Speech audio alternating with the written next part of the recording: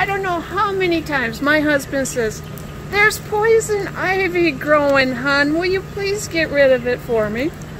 So I go outside, I look at the plant, and no, it's not poison ivy. It's Virginia creeper. The reason he gets confused is because the new growth of a Virginia creeper looks like poison ivy.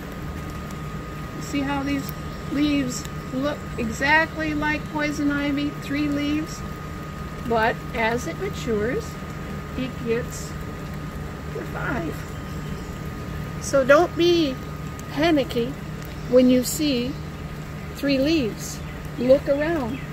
See if it has five on other growth. If it does, it's Virginia Creeper. It's a wonderful decorative plant.